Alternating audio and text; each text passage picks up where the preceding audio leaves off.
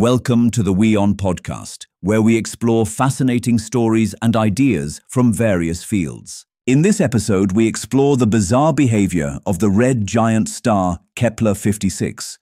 Discover why scientists suspect this aging star acquired its unusually rapid, misaligned spin by cannibalizing one of its own orbiting planets, likely a massive, hot Jupiter. A new study finally explains this weird spin. Scientists have found why Kepler-56, a red giant star, has a weird spin, and according to a new study, this is because it likely gobbled up one of the planets orbiting it. Takato Tokuno, a doctoral student in the Department of Astronomy at the University of Tokyo, studied the star's peculiar movement. The outer envelope of the star is spinning incredibly rapidly, more than what is ideal for a red giant star. The star's core is also misaligned with its outer envelope as it spins in different directions. This could probably have been because of one of its giant planets, since they can exert a pull on their star, just like Jupiter does on the Sun. The action repeated over millions of years could lead to the outer atmosphere spinning faster. However, this scenario seemed unlikely in this case, since for planets to raise rides and transfer rotational energy to the star would require a very perfect and efficient setting.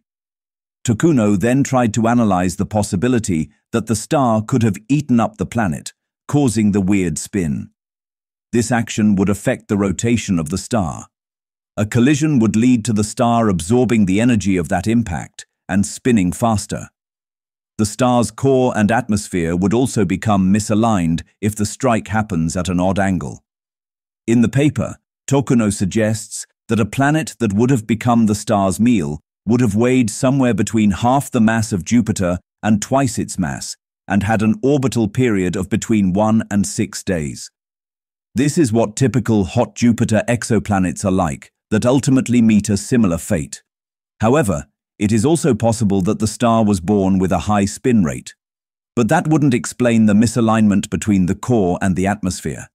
And even if we assume that it was born this way, the fast spin would again only be explained by the likelihood that it ate a planet while it was still young.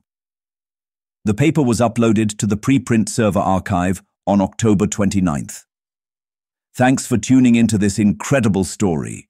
If this episode resonated with you, don't forget to hit the like and subscribe button for more captivating stories to come.